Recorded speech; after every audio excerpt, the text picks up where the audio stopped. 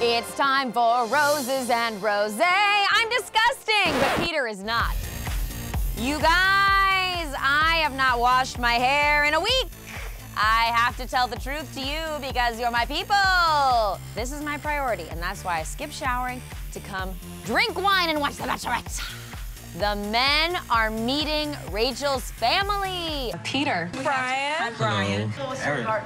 Not in that order. Eric was second. The Lindsays. Oh, I love the Lindsays. I love them. I love Rachel. I love her family. Let's dive in. Peter, you're going first. Oh. So Peter goes first, and he knows baby clothing sizes. He's a big three. So he's probably he's wearing three or four. Yeah. You guys, this episode, drink every time Peter did something else to make you fall for him. It's cute. And know that you're introducing a good person that's here for you. But be very careful, it's a dangerous game. So Rachel is gonna have the guys all meet her family in Dallas because her sister Constance, who is amazing, we'll get to that, is super duper pregnant, and I guess she can't travel. I don't know. I don't have kids. She can't travel, I guess. So, because the baby can't be on a plane. Nobody likes a baby on a plane. Anyway, um, so Rachel's like, Peter, let's go pick out some clothes for the new baby. And Peter knows baby clothing sizes. It, cute. It's so cute.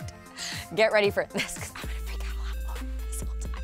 Because Peter, I don't think I've ever felt this passionately about a contestant. If you guys have felt more passionately about a contestant, please leave who in the comments below. I'd like to know. I'd like to know. All right, so what's also great about the guys being all together is that when one guy goes to meet Rachel's family, the other guys talk about him, He sets the bar really low. which is kind of amazing. that he may not even ask for her hand in marriage. Oh, he said even, that? even if she picks him. Uh, I think seemingly a producer told Bryan that Peter said that he might not propose to Rachel. Even if she picks him. Because Bryan knew. And Eric's all like, what? What? Mm-hmm, I know, and that's foreshadowing for all the crap that goes down. I am falling in love with you. I'm so happy to hear you say that. A producer maybe also seemingly told Peter that he should probably tell Rachel he's falling for her because he's got to say something to stay around. Because she wants him to stay around. She says they're really compatible, but he's got to show something. So Peter's like, I'm falling in love with you. And Rachel's like, And I'm falling in love with you too. and now we're like, we're going to fall into the arms of the Lindsays, our future family. Probably not. Okay. And my Uncle Jeff. Bummer. We are not going to meet Rachel's dad because he's a federal judge. Okay. Uh, so my, my parents met uh, in Milwaukee. Peter tells the story of his parents' meeting, and whoa, whoa, whoa, bombshell. That was the lamest bombshell. what kind of bomb am I dropping? Anyway, Peter says that his parents dated for one month, A month? Very quick.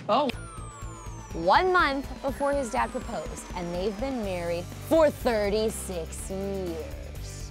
36 years. I came into this very skeptical and unsure that it could actually happen. Okay, so Peter, why are you so afraid to propose after a couple weeks? Your parents said it and it worked out well for them. I'm confused. I'm confused. And you know what it just makes me think? Is it Peter is. It, it's like, are we watching The Bachelorette anymore, or are we watching a prequel to Peter Kraus's season of The Bachelor? He's like, I'm so perfect, but I got a, I got a wall I gotta climb over. And all you women around the world sign up for casting calls and help me climb it as you voraciously climb over it yourselves, like animals, because that's how we all feel. Okay, so Constance is gonna speak for us all this whole episode. Constance is like, He seems relaxed and, you know, very handsome. yes, he does, Constance. You know what's up with your bell sleeves and your statement necklaces. Mm-hmm. I love Constance. She's the one constant in our lives right now. Okay. Uh, so Peter goes to. Now, the thing about visiting the family is it's always like, are you going to ask for the hand in marriage? Peter is not. I want to wait until I know for certain that your daughter is the person for me. which I like. He goes to Rachel's mom and he's like, I want to ask for your blessing to keep dating her. Because I guess it's like, you know, courtship. I think we're here for a courtship at this point. But Rachel's mom is like, I love it! Which I like. And basically, Rachel's whole family loves Peter, and her cousin is like, Peter, winner. okay, so drink, because you know, nothing wrong with Peter. Mm. Yeah.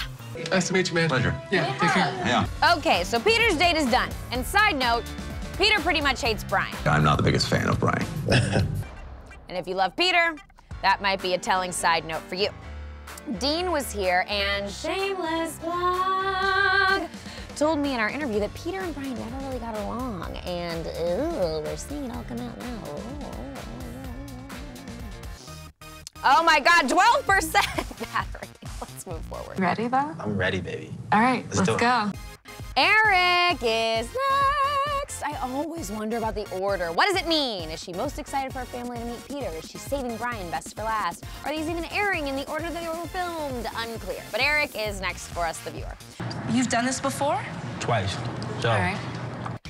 I've met two girls' families, and one of them was at prom. At prom. Eric, that's not taking, that's not going home to meet someone's family. That's picking them up for prom. And Rachel's face said it all. family's important to me, you know, and it's like, that's what I really want for myself is family. Eric is gonna redeem himself, and that is Eric's story on this show. He starts off kind of sketchy, and then he redeems himself, and you love him so much. Maybe Eric for Bachelor. I don't hate it. I don't hate it. He's got a story too. Okay. Peter, though, right? Yeah, it's Peter. It's gotta be Peter. Yeah, okay. So the big issue with Eric is, you know, that he's never been in love. But Eric is so good at explaining the roots of his story and why that has challenged him to have never fallen in love. And I love Eric. I do. Commitment on all cylinders. And also, Eric might not have never been in love, but man, does he know how to explain love. Listen to all these adjectives. Um, compromises, communication, um, sacrifice, understanding. Eric? Eric? Yeah, I think he explained it better than anybody, really. So Eric asked for the blessing for marriage. To propose to your daughter and take her hand in marriage. And Rachel's mom says something so brilliant. At this point, I'm okay with it because I trust Rachel, which is a very smart way for a very smart family to get around the kind of weird situation that they're in for this show. These girls are truly my friends, and I think they will be very crucial to the date because they get me. Oh, Bryan! Um, and Bryan is gonna meet Rachel's friends. Interesting.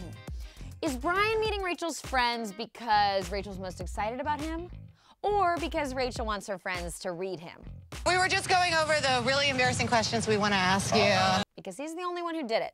37. Oh, nice. Also, side note, why is it that when we meet new people and they tell us things about themselves, we're always like, oh, nice?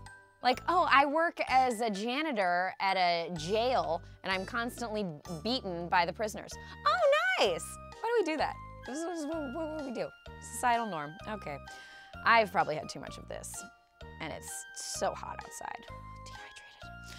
Dehydrated. Okay, so Rachel admits that she thought Bryan was a quote douchebag at first. Douchebag. Honestly, I mean, another reason to love Rachel. And she said in our interview, shameless plug, that she didn't like Bryan at first, and so we should all give him a chance because she did give him a chance. So think about that, everybody. I liked Bryan on this episode. I think he was really nervous meeting her family, and that he was really not saying anything bad. It's just that he was maybe saying too much of what he was saying, and that comes across as, as the men of this season have said, as disingenuine. Not a word, guys. Not a word. Okay, so Bryan meets the friends, and Rachel is like, You guys, I know he's not fake. I do not have time to fake it. Who does? Hmm. I have a tremendous amount of love for this woman right next to me. Rachel's brother in law, what a bold, bold guy with the way he looked and didn't say very much, but just kind of kept staring. And Constance is back with another bell sleeve and statement necklace. Cheers to Constance. I love her. She's got a lot to say about Bryan, though. I love your family already. I mean, you guys seem like a See, that's too. See, all of that's so soon to me. Like you, it's only been like an hour. Yeah, I mean, uh, So even Rachel admits that The energy is totally different than it was the other two days with Peter and Eric. I'm like really low key annoyed. But again, you know, Rachel's mom like asked him the same question twice, and I think he was just nervous, and they all seem really critical. But then in the end, the mom's like, I trust you. You seem honest. I think Bryan appears very honest. Okay. So he has permission to propose to Rachel too. Everybody does. We're back to Spain. How do we know? Cobblestone streets. Old cobblestone streets. It's the marker of Europe throughout this season. wow. We're going in a helicopter! So Eric is so excited for a helicopter. And I don't know why, because haven't we seen enough helicopters at this point in the season? But here's another thing I love about Eric. He is just happy to be wherever he is. He's like, we're here! We out here! Yeah! We're here! We're here, baby! Where are we? We're here! We out here! We out here! Yeah! Here we are! I'm here! Where are you? I'm here and I love it! Get over here! Don't you want to spend your life with somebody who's just happy to be here? Love Eric. Not gonna change my mind about Peter for Bachelor though. Just not. Eric and Rachel have dinner and they have some fog for no reason. And Rachel is so good at like kind of knowing what needs to happen on this show. And she's telling Eric, you gotta say how you feel. And Eric's like, I love you. So, Rachel Lindsay. I love you. Great! Wonderful, because now we're going to a fantasy suite. We wake up the next morning and the bed's unmade and Eric's shirtless. And it's not a lot of facts, but it is a lot of implications. So, one more shameless plug. It's a trio in honor of the three remaining guys tonight. I talked to Rachel about fantasy suites and who she slept with and who she didn't and what she said off camera. It's all over at etonline.com.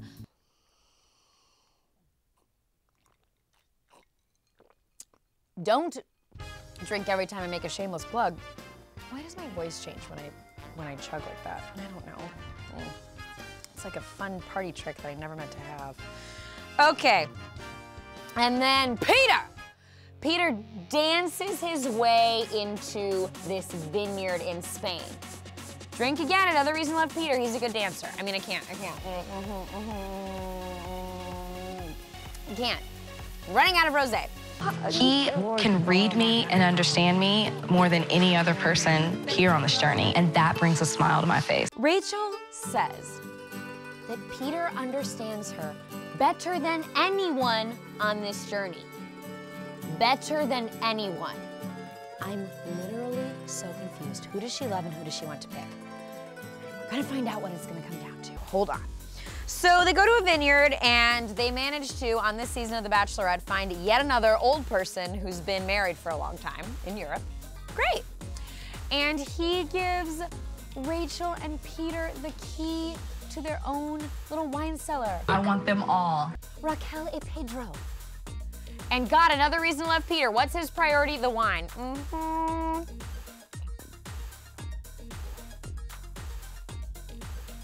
I can't. He's literally like, can we take all the wine? Are we just like leaving with all of this? Let me tell you 'Cause- something. I don't know, but I want, I want them all. God, I love him. We cut to later. So I saved our cork from our bottle of wine. Peter for the win. And Peter's like, I have this tradition in my family where I save this cork for a memory. And Rachel's like, Peter for the win. For the win. Your family said he was the winner. For the win. and then things take a dark, dark, dark turn, They have to address the fact that Peter did not ask Rachel's parents for her hand in marriage. And Rachel explains what she thinks engagement is. I feel like it's cultivating the relationship and seeing what you have and if it can work outside of that. And then Peter explains what he thinks engagement is. Engagement is just like, we're getting married, let's just plan the time now. And they are not the same thing. And then, if you drink every time they say, I don't know, in this awkward space of time, you will not even know who you are. I don't know how to get through that. I don't either. I don't have the answers for you. I, I don't know where to go from here, to be honest. Me neither. I don't know what to tell you.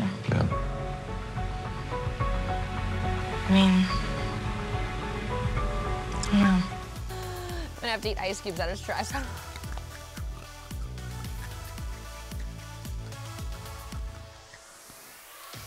I can't. I just can't.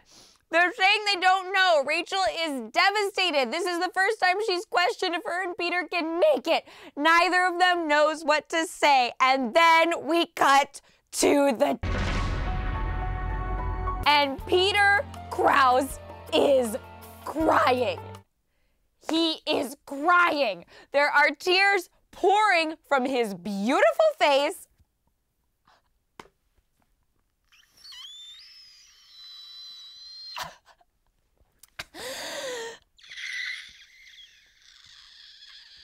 Why?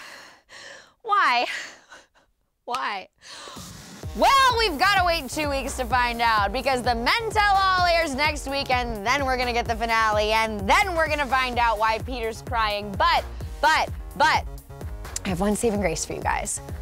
I talked to Rachel about why Peter is crying, and that interview is up at etonline.com. And I don't have any rose left for this last shameless plug. But this last shameless plug represents our uncertainty as we head forth into the Bachelorette finale airing August 7th on ABC. God, I love this show.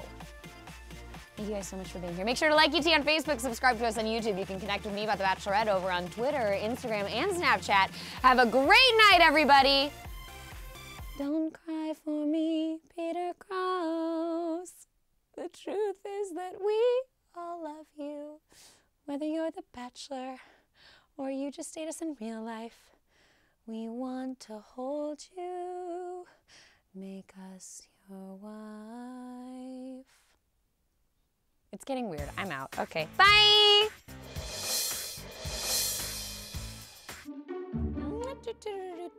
And Eric is so excited to see, wow, I just, it's, my hair has gone downhill throughout this taping. Let's try to fix it. Just like we gotta try to fix this relationship with Bryan because she's probably gonna pick him, so we gotta resurrect this, guys. Okay, not great, but okay. The motto of these relationships.